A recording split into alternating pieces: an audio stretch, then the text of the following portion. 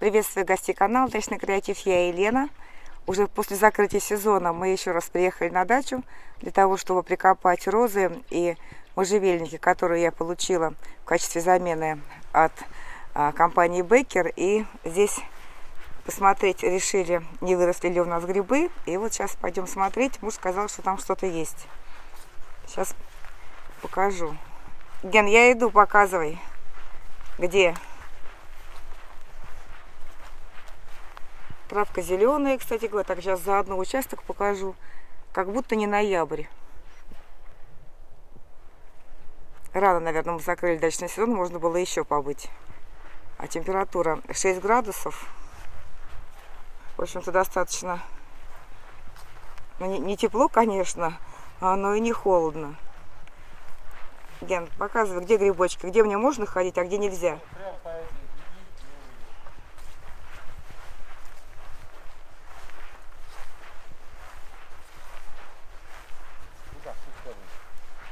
Так, а откуда начинать? А вот по этой То есть вот по, по краю поэтому, да? Да. Иди вперед меня, показывай, что я могу без очков наступить. Они маленькие, Да не, большие. подросшие уже.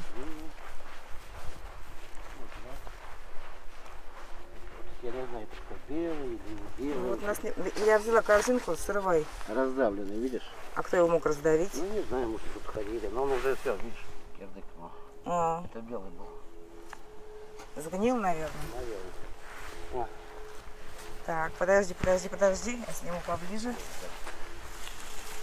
Вот такой грибок.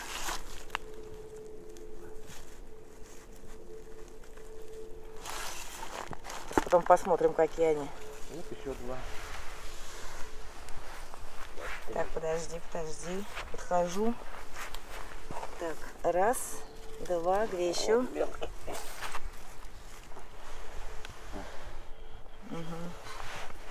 Один. Они достаточно мягкие, я сказал. Ну, они, наверное... Ну, А, это- плохие, да? Это уже да. Вот это хороший. Мгм, А это плохой, мягкий. Плохой. Да нет, шляпа тоже такая. Вот все, он червивый, да? Не червивый, а? Гнивший. Замерзший. Где-то еще в траве. А, он, видимо, подмерзший. В траве я видел. А, во. О, какой там большенький. Это вот за нас не было. Подожди, Ген, ты срываешь, я не успеваю снять. Это хороший. Ну, какой жирненький. Толстяк. Ну, я посмотрел, тут больше. А, вот еще. Тоже плохой. Да, нет, твердый. Нормальный?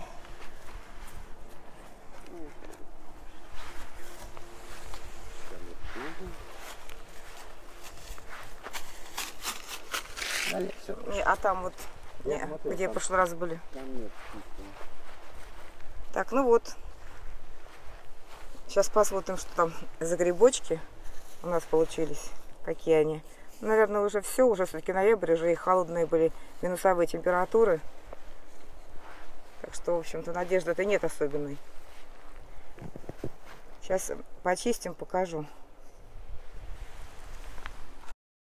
Мне прислали еще раз а, посылку из Бекер в качестве а, замены последней посылки, которая тоже была заменой а, того, что я заказывала у них зимой, то есть, то есть то, что мне приходило в апреле.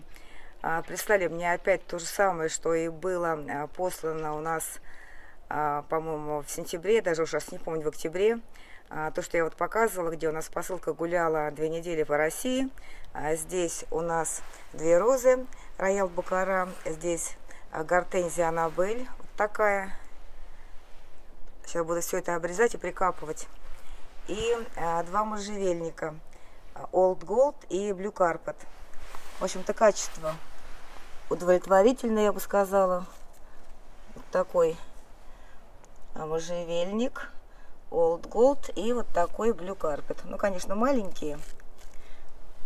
В этот раз доставляла мне посылку Почта России. Посылка пришла быстро, в отличие от прошлого раза, когда у меня посылка гуляла а, две недели.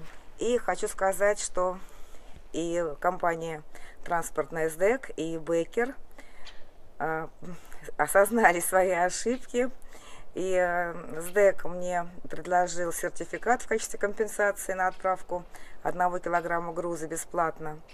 А Бекер мне вот прислал еще раз а, саженцы. Но вот а, роял Букара у меня уже прикопаны, которые в прошлый раз были. Одна, кстати говоря, пошла в рост. Сейчас я покажу ее. Одна вот пошла в рост, листики даже дала, хотя я сажала ее без листиков. Надо будет сейчас это обрезать. Хорошо, что мы приехали. Но вот вторая тоже здесь какие-то черные побеги. Сейчас, может быть, тоже пониже обрежу ее. Вот, а может быть, они и живые. А можжевельник, который в прошлый раз я получала, мы его прикопали.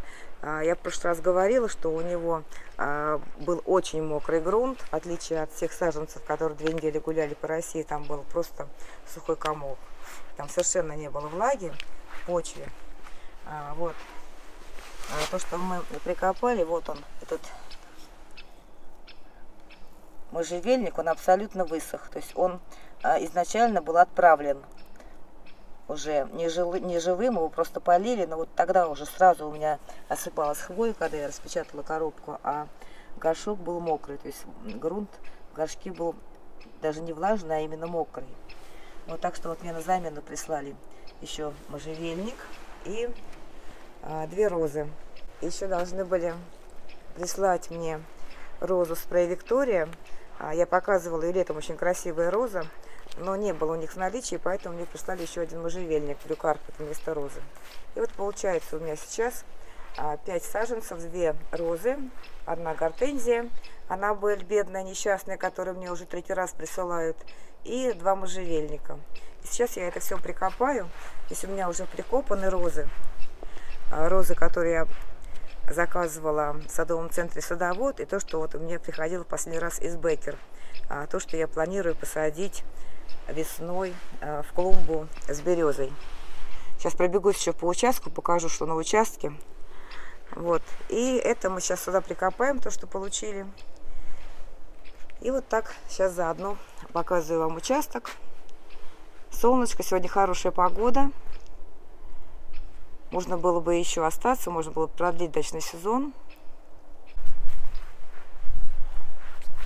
Тишку мы в этот раз брать с собой не стали, потому что побоялись, что она у нас убежит куда-нибудь погулять за пределы участка. Нам придется есть до ночи ждать, поэтому не рискнули ее брать с собой, хотя, конечно, ей бы здесь было здорово побегать, попрыгать, скучает она. А неделю в Москве она уже заскучала. Ну вот уже с березки листва практически облетела за неделю. Вот такой участок. Сейчас с другой стороны еще зайду, покажу. С этой стороны участок показываю.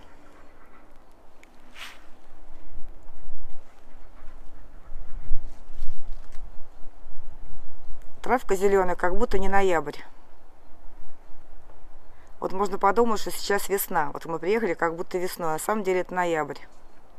Середина ноября. Яблонька наша красавица.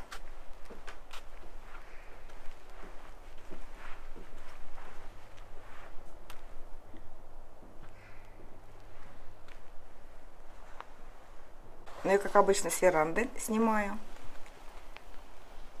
участок. Даже хочется остаться, но мы тишку не взяли, поэтому возвращаться нужно будет на дачу. Хотя можно было бы остаться.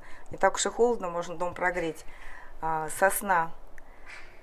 Любоваться можно ей круглый год. Такая красавица. А когда мы снимали, как муж ее обрезает, я снимала, муж обрезал, а нам писали, что мы неправильно ее обрезаем. Но вот смотрите, я считаю, что, может быть, и неправильно мы ее обрезаем, конечно, а, потому что, в общем-то, есть разные способы обрезки, формирования.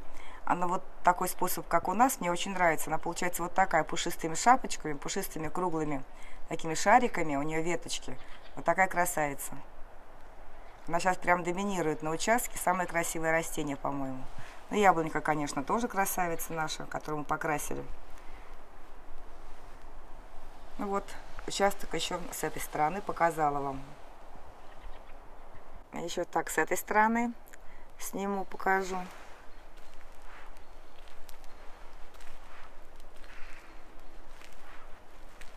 Что в клумбах, в клумбах ничего не изменилось, конечно, за неделю. Ну вот так. Сейчас пойдем прикапывать уже розы гортензию и можжевельники. Так, ну вот мы практически прикопали. А, покажу еще поближе, просто две, розы. Роял Букара, гортензия Аннабель и два можжевельника, Old Gold и Blue Carpet. Сейчас мы еще досыпем земли и обрежем гортензию и розы. И прикроем немножко лапником. Так, ну вот, прикопали, обрезали. Роза, гортензия, два можжевельника. Здесь я а, укрыла лапником немножко розы. И сейчас эти тоже укроем лапником. Приготовили лапника немножко. Кстати говоря, семена туи, можжевельника и позелеплодника можно было сейчас сеять, потому что земля сейчас абсолютно а, не мороженая. Кстати, хотела показать, здесь уже закопала. Или нет, муж уже убрал. Опять а, накопали кучу корней ивы. Так что убеждаемся в том, что все-таки правильно, что мы ее спилили. Ну вот грибы, к сожалению, непригодные для употребления. Все червивые, вот такие негодные, подмерзшие, червивые. Так что, вот, к сожалению, вот таким образом. Но все равно приятно, грибочки выросли. Ну и на этом заканчиваю. Не забывайте подписываться на мой канал. Всем удачи, до новых видео. Пока!